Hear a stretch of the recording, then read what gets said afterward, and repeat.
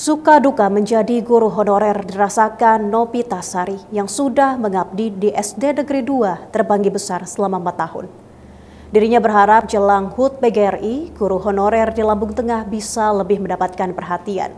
Beginilah keseharian Nopita Sari saat mengajar di SDN 2 Terbanggi Besar sebagai guru honorer.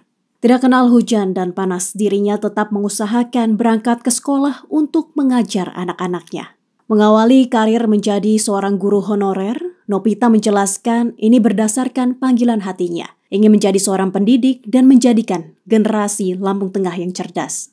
Dengan penuh kesabaran dirinya mengajar anak-anak di SDN 2 Terbanggi Besar. Suka duka menjadi guru honorer dirasakannya selama empat tahun ini, namun tidak memudarkan niatnya untuk menjadi pendidik yang baik. Jelang HUT ke-77 PGRI, Nopita berharap pemerintah lebih menaruh perhatian bagi para guru honorer. Namanya kita ngajar di daerah terpencil lah, bisa dibilang daerah terpencil.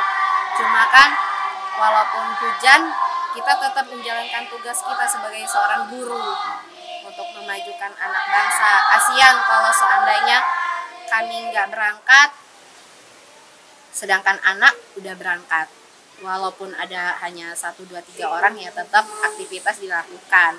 Harapannya terutama ya kami minta untuk pemerintah untuk tidak membeda-bedakan antara ASN ataupun honor.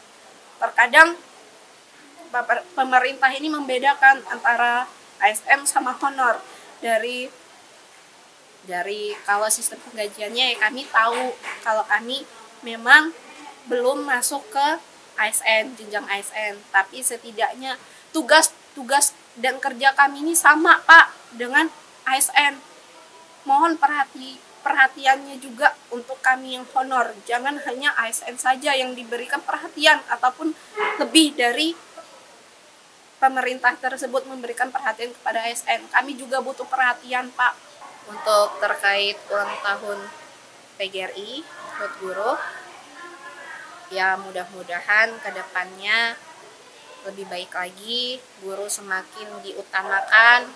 Kalau terkait seminar workshop yang akan dilaksanakan saya antusias untuk mengikutinya.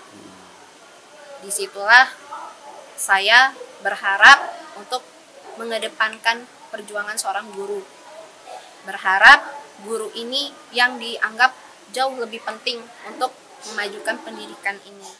Diketahui HUT PGRI di Lampung Tengah akan dilaksanakan selama tiga hari, yakni mulai 22 hingga 24 November, dengan berbagai kegiatan dan seminar peningkatan kualitas pendidikan bagi para guru.